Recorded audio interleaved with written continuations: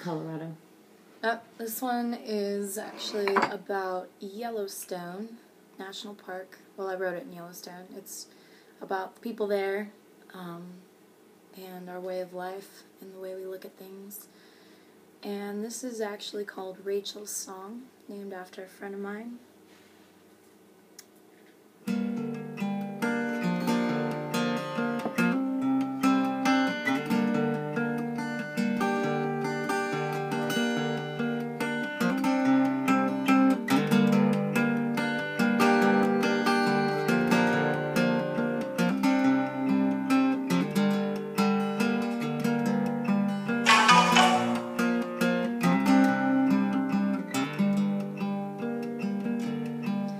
The shadow of the mountain where the wild daisies grow, I found this hidden part of me I thought I'd never know.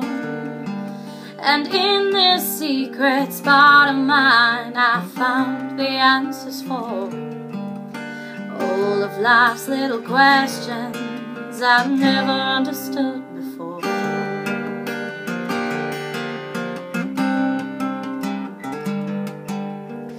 As the wind whispers its way through the aspen trees, I'll turn my face, all my thoughts erased, and listen to the song on the breeze.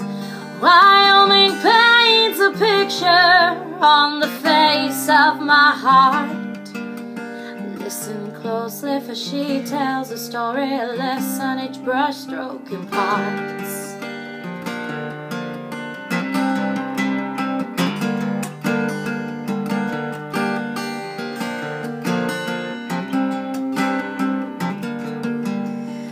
stars are bright in these northern nights, and their light makes me believe in the simple peace that life can bring. I was certain I would never see.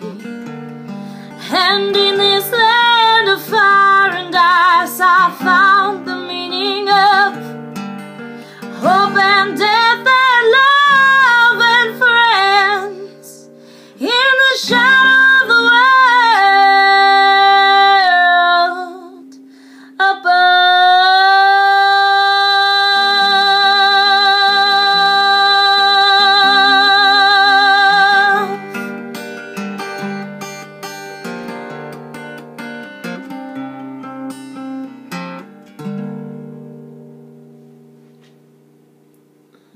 I'm sorry.